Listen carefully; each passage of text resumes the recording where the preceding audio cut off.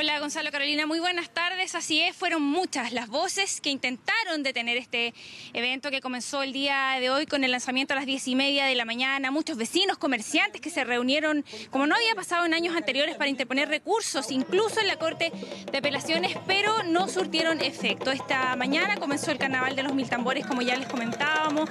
A las diez y media de la mañana fue la apertura, el lanzamiento en el Parque Cultural Excárcel de Valparaíso, esta actividad que convoca a gran número de personas, hay que decirlo, se esperan unas 30, 40 mil personas y en general desde hace varios años viene generando la molestia en los vecinos y también en alguna parte del comercio que se molestan básicamente no por la realización de lo que tiene que ver con el carnaval, sino por los efectos aledaños, como por ejemplo la basura y el estado en que queda la comuna de Valparaíso una vez realizado este evento, esta fiesta que llena de colores y que a muchos les gusta, pero como les contaba, claro, también tiene este lado B que en el fondo molesta a comerciantes y también a los porteños, que son quienes tienen que seguir viviendo al otro día, una vez que se terminan los mil tambores, seguir viviendo en la comuna. Es por esto que se tomaron hartas medidas este año, como por ejemplo el cierre de playas, la playa Carballo, San Mateo, las torpederas van a estar cerradas con vallas papales hasta el día lunes, porque es la única forma que las personas no acampen en ese lugar como se hacía antiguamente. Recordemos que este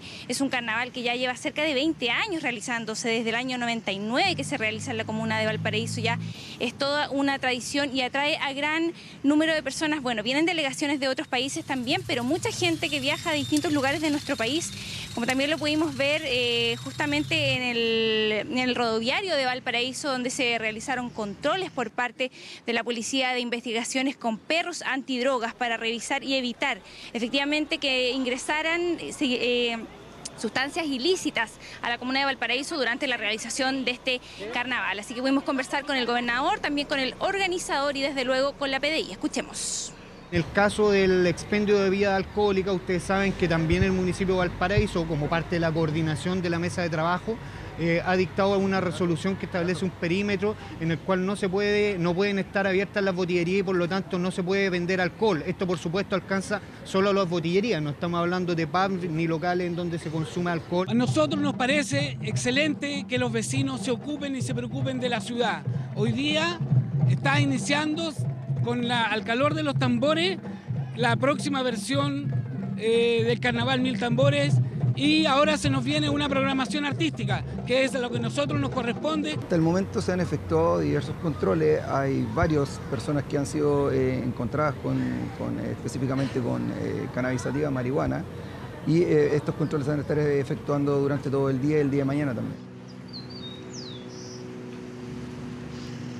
Claro, ha sido bastante polémica esta versión, sobre todo como les contaba por la oposición de los vecinos, comerciantes los comerciantes más que nada molestos, eh, los, que tienen botillería y expendio de alcohol son los que están más molestos sin duda porque tienen que cerrar sus locales a las 9 de la noche y hasta las 9 de la mañana del día siguiente, que es justamente el horario en que ellos nos aseguran más venden. Entonces se ven bastante complicados y no solamente las botillerías, sino también los supermercados, los mini markets, que también tienen expendio de alcoholes, se van a ver complicados con esta situación. Ellos aseguran además es una medida que fomenta el mercado negro porque a las 9 de la noche apenas ellos cierran, nos aseguran se llena de personas que en la mochila andan trayendo cervezas, distintos alcohol, eh, distintos tipos de alcohol para poder vendérselo a la gente que llega acá al carnaval de los mil tambores. Pudimos hablar con algunos de los comerciantes para sentir su molestia. Aquí escuchamos sus declaraciones. Eh, un problema, bueno, que lo afecta bastante. ¿Por qué? Porque es fin de mes. Yo voy a decir una sola cosa, si es por el bien de la ciudad, está bien. Bueno, nosotros pensamos vender siempre de las 6, 7 de la tarde para adelante, lo bajar un 60% la, las ventas, más o menos, porque es fin de mes. Nuestro fuerte es trabajar después que cierran los supermercados grandes. Entonces, ese es un problema. Y el otro problema es que a las 9 de la noche esto va a ser mercado negro. Todo el barrio vende cerveza, a las 9 en punto se llena de cerveceros en la calle. Y no sé cómo van a controlar eso. El comercio no lo favorece en nada. Nos, perjudica, no solo como comercio, sino que como ciudad, porque la imagen ciudad que estamos proyectando es negativa. Por lo tanto, esos son los motivos por los cuales nosotros nos oponemos a la realización de estos mil tambores. Bueno, más allá de toda molestia y polémica, la verdad es que Este carnaval se va a llevar a cabo, hoy día hay actividades, mañana también, y el día domingo a las 11 de la mañana el tradicional pasacalle central, que es el que convoca a la mayoría de gentes y turistas que vienen a presenciar esta actividad, de esperar que quede en buenas condiciones la comunidad.